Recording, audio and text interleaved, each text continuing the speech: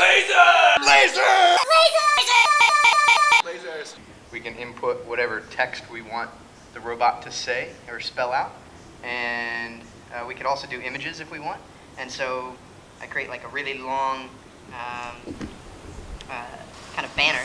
And then basically I go pixel by pixel and tell if the pixel is uh, white or black. And it does that and it turns all of that into uh, zeros and ones. And I actually just print that um, screen, and then I can copy those zeros and ones and input that into our Arduino code. As just a